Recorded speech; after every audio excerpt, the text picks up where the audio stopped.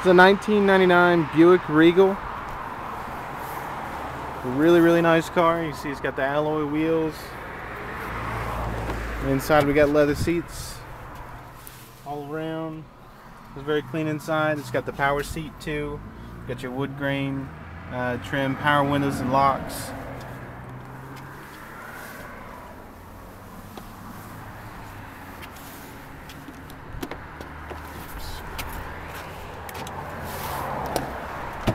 There's your back seat view.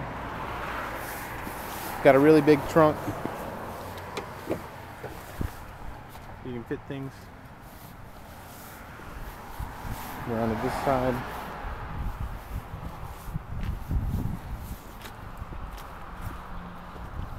Really, really nice car for the money.